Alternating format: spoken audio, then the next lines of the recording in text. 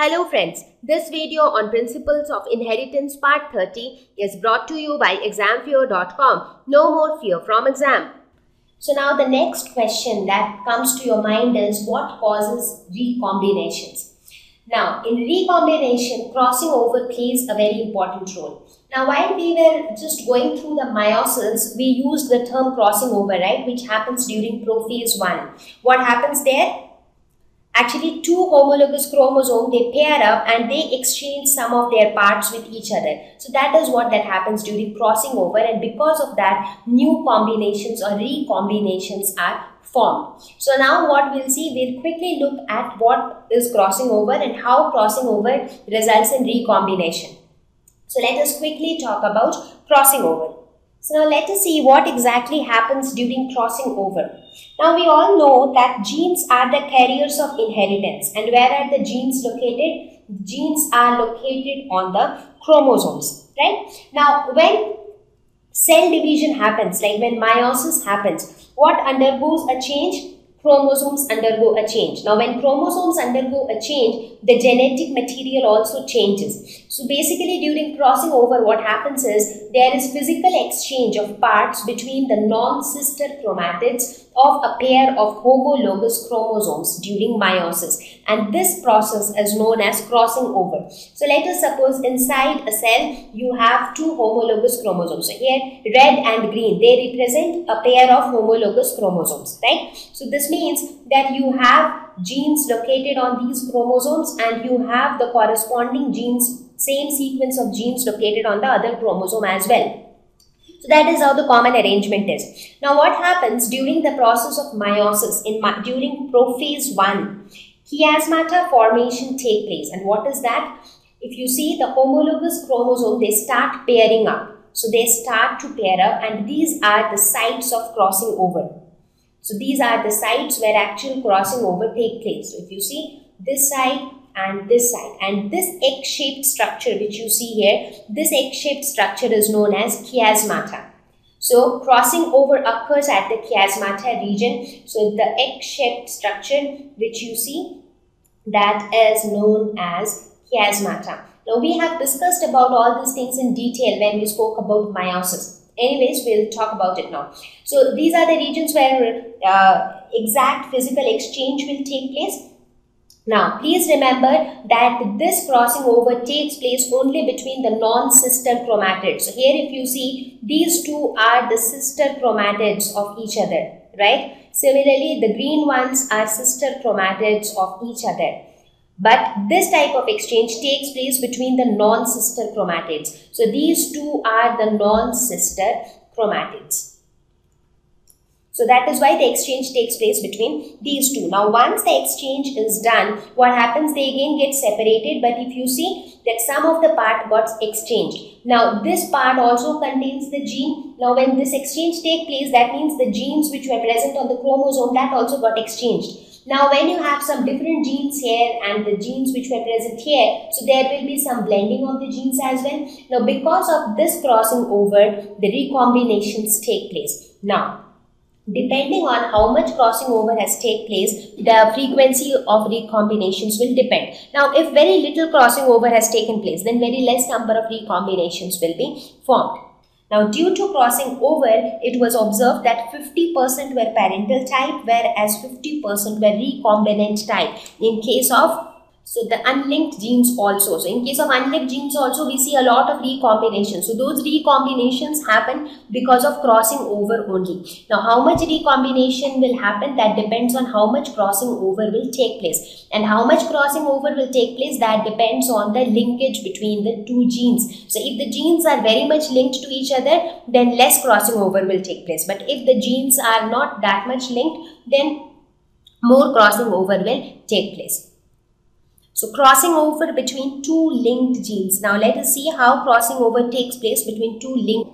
So here we will see how exactly crossing over takes place between two linked genes. Now let us suppose these are the two homologous chromosomes. So this represents the two chromosomes here on the screen represent a pair of homologous chromosomes. Now let us suppose on this chromosome we consider two genes for example, this is gene A and this is gene B and their corresponding counterparts are present here like A and B.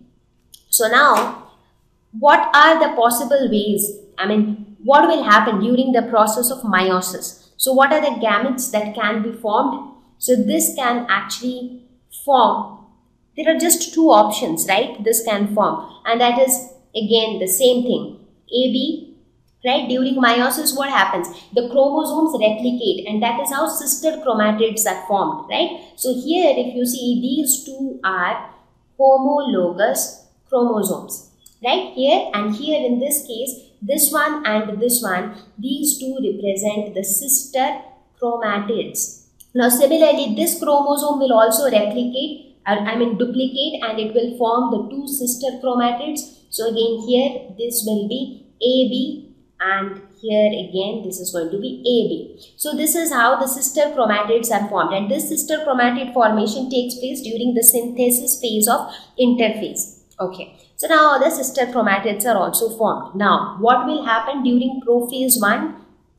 Now the non-sister chromatids. So which one is the non-sister chromatid? This one and this one. So these are the non-sister chromatids and crossing over or pairing up will take place between these two so if you see the outer chromatids will remain the same but the inner non-sister chromatids they will just cross over each other and this is known as chiasmata formation. So you see an X-shaped shaped structure is formed due to the overlap of the non-sister chromatids and this is called chiasmata.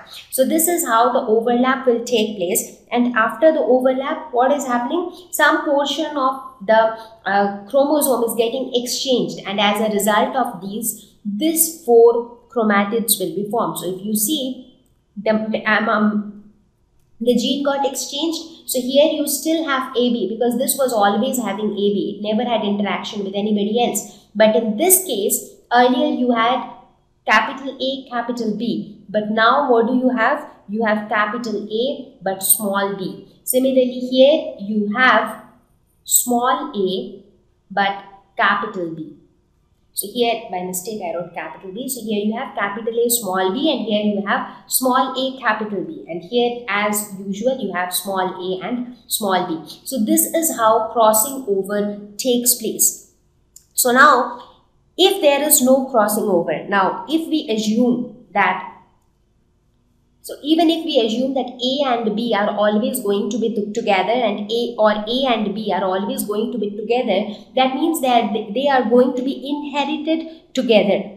Right? That is the only thing which we mean to say that they are going to be inherited together. So now the first case is we consider case 1 where we say that A and B are linked.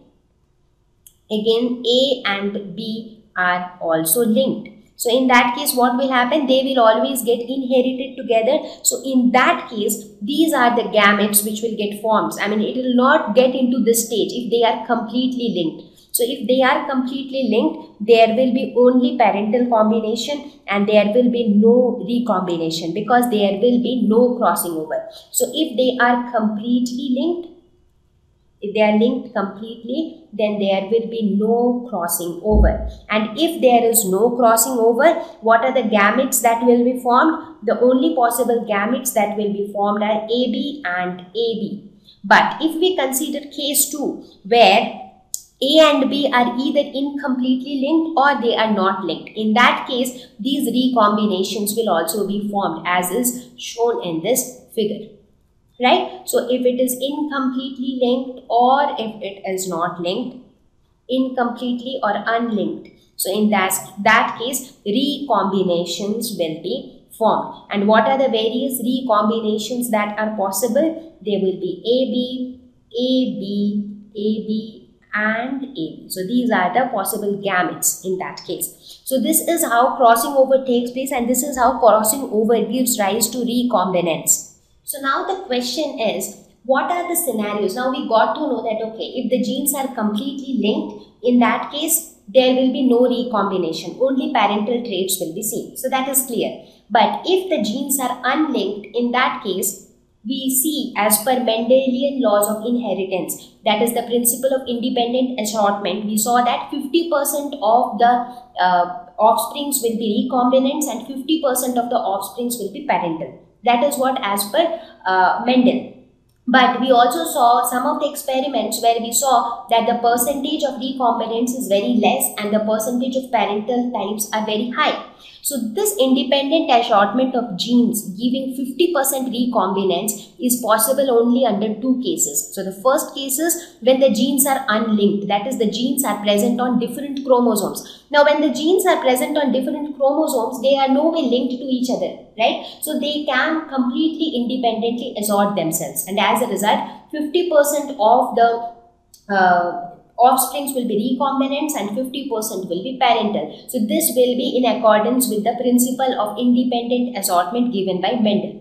Now the other scenario where this will be true is if the genes are present on the same chromosome but they are far apart. Now if the genes are very far apart then what happens? The probability of crossing over becomes more because you just now saw right that how crossing over takes place it takes place with the neighboring non-sister chromatid so if two genes are present very near to each other then there is very less possibility that crossing over will take place. So in that case, both the genes will get inherited together. But if the two genes are located very far away from each other, in that case, crossing over can take place and therefore recombination can occur. So the Mendel's principle of independent assortment holds true only when the genes are present on different chromosomes or the genes are present on the same chromosome but they are far apart. But if the genes are very close to each other, there is a linkage between the genes. In that case, the Mendel's principle of independent assortment doesn't hold true.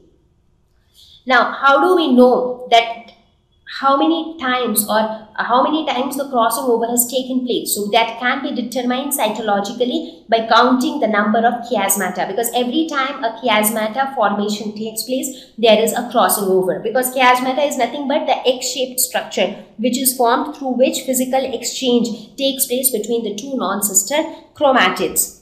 So now with this discussion, we reach to another concept of complete and incomplete linkage. So there is one concept where complete linkage is there. So there will be no recombination. There is another concept where incomplete linkage is there, where the possibilities of recombinations keep on increasing. Thank you. Please visit www.examfear.com to watch more videos free online test, get free study material, find tutors and mentors. Thank you once again.